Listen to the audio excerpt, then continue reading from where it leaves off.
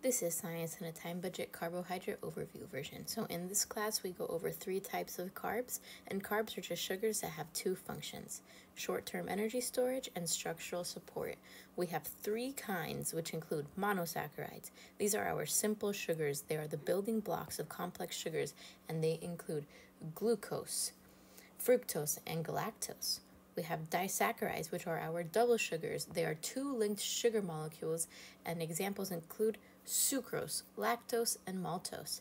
And then we have our polysaccharides. These are our complex sugars made up of 10 or more linked monosaccharides, and examples include starch, glycogen, and cellulose.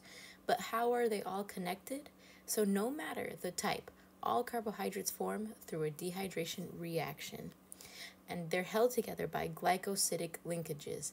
And these different glycosidic bonds, they're going to form different structures, which means our carbohydrates are going to have different functions. But why does this matter? It matters because carbs are more than just sugars. Their glycosidic linkages make them vital for energy and structure.